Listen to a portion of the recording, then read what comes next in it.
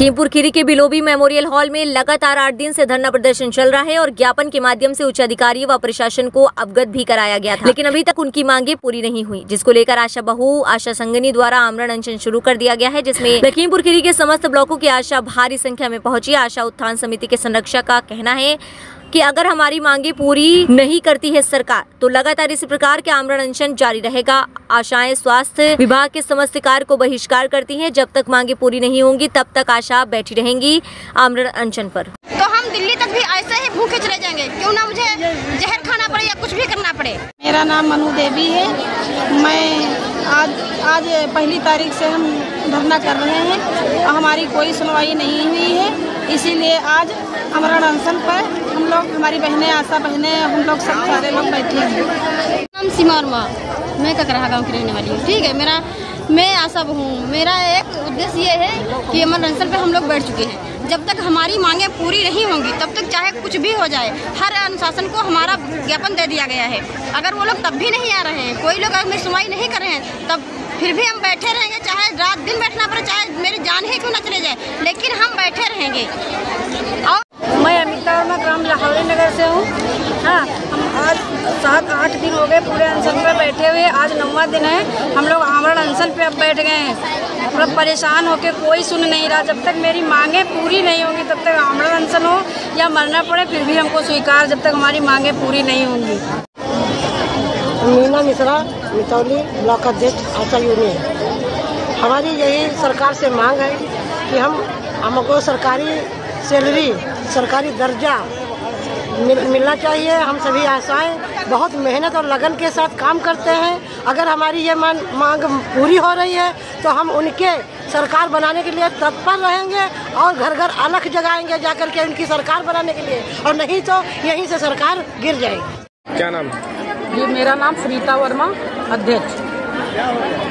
धरना प्रदर्शन कर रहे हैं किस लिए धरना प्रदर्शन आमरण किया गया? है हमारा आमरण इसलिए हुआ है कि हम एक तारीख से धरना कर रहे हैं। तो ना हमारी कोई सुनवाई है न कुछ है और हमें सरकारी कर्मचारी का दर्जा दिया जाए। अगर मांगे पूरी नहीं हुई तो? तो हम ऐसे ही बैठे रहेंगे भूख जब तक मांगे नहीं पूरी होती हम ऐसे ही बैठे रहेंगे चाहे मरे या जिए।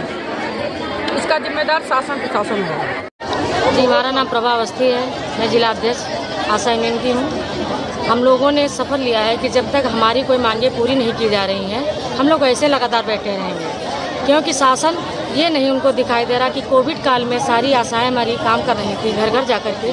तब ना डॉक्टर साहब जाते थे, न हमारे सीमो साहब जाते थे, कोई अधिकारी घर से निकलना नहीं चाह रहा था तो हमारी आशा बहने जा रही थी। आज उनको ये नहीं, हम लोग पहली तारीख से अवगत करा रहे हैं कि हमारी मांगे जो हैं मुख्य, वो मानी जाए, लेकिन वो लोग नहीं सुन रहे हैं। अगर जब तक वो लोग सुनेंगे नहीं शासन हमारी बातें नहीं सुनेगा तब तक हम लोग ऐसे ही बैठे रहेंगे। कुछ भी हो जाए। हमारा नाम उर्मिला देवी है। आप धरने पर बैठती हैं? जी हाँ धरने पे इसलिए बैठे हैं कि हम इतनी तमाम बहनें बहुत मेहनत करती हैं और फिर भी हम लोगों का जितना हम लोग काम करते हैं पैसा नहीं मिलता है।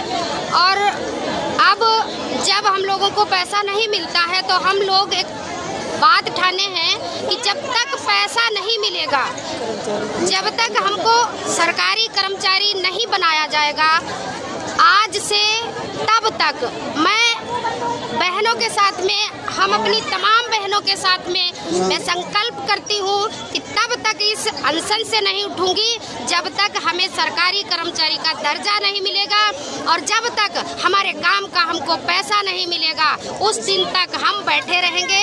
और अ, मुझे आशा है कि हम जहाँ जाएँगे हमारी तमाम बहनें हमारे साथ में जाएँगी। तो मुझे आशा है हमारी सरकार से कि हमारी मांगों को अवश्य सुनेगी और हमारी मांगों को पूरा भी करेगी। बस यही हमें हमारी सरकार एवं संरक्षक आशा उत्थान समिति उत्तर प्रदेश। क्यों धरना प्रदर्शन कर रहे हैं? जब से मैं देख रहा हूँ आशाओं का कोई वेतन नहीं है मानदेय नहीं है।